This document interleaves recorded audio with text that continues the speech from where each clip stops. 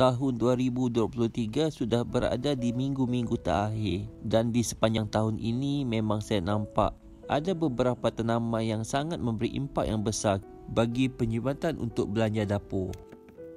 Pokok limau kasturi salah satunya kawan-kawan, pokok yang berbuah sepanjang tahun. Saya rasa sangat beruntung walaupun hanya ada sepokok saja pokok limau kasturi ni.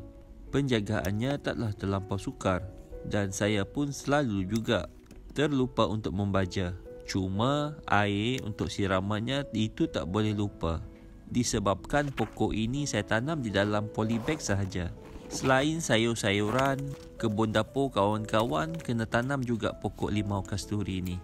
Saat-saat darurat nak guna limau, boleh dipetik sahaja tak perlu pergi ke kedai. Pada masa akan datang, saya bercadang nak buat tut pada pokok ni supaya boleh ditanam semula dan saya nampak juga bekas tanam polybag ni pun dah tak sesuai. Tengoklah, buahnya pun kecil-kecil. Kena guna bekas yang lebih besar lagi nampaknya.